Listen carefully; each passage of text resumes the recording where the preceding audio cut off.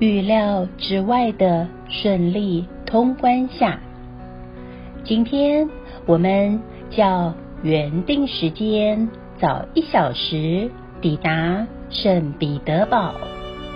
于是利用午餐前的空档，先到餐厅附近一家纪念品卖场血拼一下，在用过午餐后，即前往著名的凯撒林宫参观。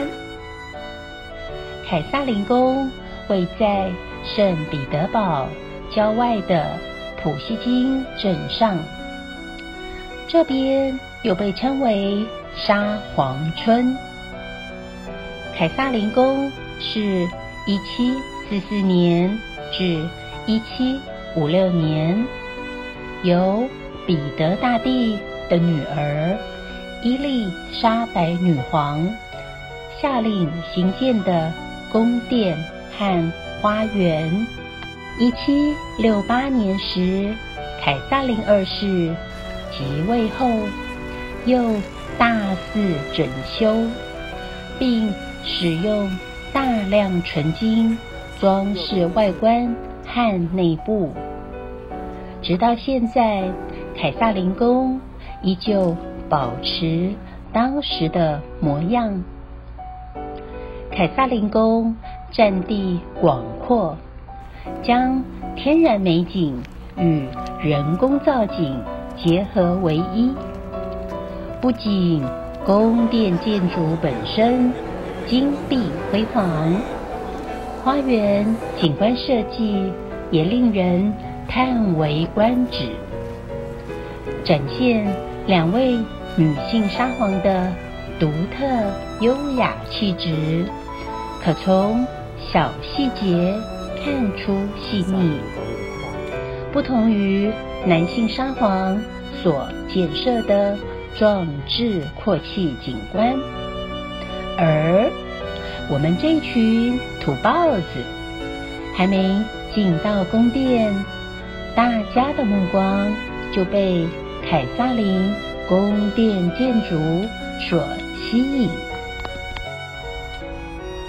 看那建筑外观，主要由蓝、白、黄三色构成，据说是分别代表着女主人蓝色的眼睛、白色的。皮肤和金黄色的头发，由浅蓝色的宫墙搭配金黄白玉般的窗棂，整体建筑显得十分典雅，让大家忍不住猛按相机快门。到这边参观前。必须要先穿上鞋套，太大的包包一样必须要寄放，不能吸入。开始入宫了，走进第一个大厅。大厅是伊丽莎白女皇时代的杰作。由设计东宫的意大利建筑师拉斯提里设计，是圣彼得堡周遭宫殿中最大的一个大厅，面积约五千平方公尺，主要是用来举行朝廷的仪式，天花板。是名为俄罗斯凯旋的壁画，四壁浮雕贴附金箔，共使用了一百公斤的黄金。天花地板采自珍贵稀有的木种，再在展现皇家盛世的气势。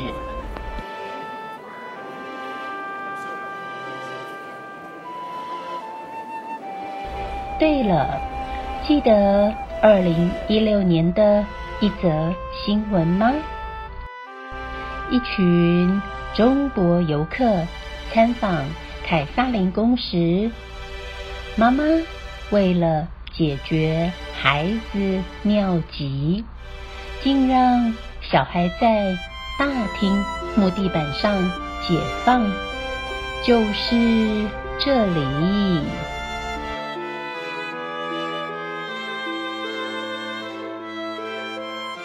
参观完大厅后，再来就是数间不同大小的宴客厅。每个宴客厅依据宾客的种类、人数，各有不同使用的时候。但相同的是，每间宴客厅都使用大量的。银质餐具，天花板和墙壁也都有精致的壁画和浮雕装饰。而凯撒林宫里名气最响亮、最令人惊艳的一间房间，就是琥珀厅。厅内有琥珀。和黄金装饰而成，曾在十八到二十世纪间被称作世界第八大奇迹，是极度奢华的建筑，但于二次世界大战期间消失于无形。目前的琥珀厅是。德国出资，俄罗斯以同等材质与数量重建，花了十年，使用了重达六吨、要价三亿六千万台币的琥珀。可惜这里是宫内唯一禁止拍照的厅室。各位看官只能凭空想象那场景，或等着你自己来体验喽。一个与琥珀厅媲美的画厅，也常拿来作为宴客厅。厅内对应的两面墙上挂满。出自荷兰、法兰斯、意大利、德国、法国等名家的画作，共计一百三十幅作品，由建筑师拉斯提里巧妙的组合成大壁画，搭配金箔的雕饰，氛围。典雅且贵气。走着走着，来到一间摆设伊丽莎白用品的展示处，看到伊丽莎白所穿的服饰，据说那套衣服重达十公斤，让人不禁怀疑。是否是镶满了黄金珠宝？接着，我们继续在其他厅堂参观，就请大家跟着我拍摄的画面慢慢欣赏吧。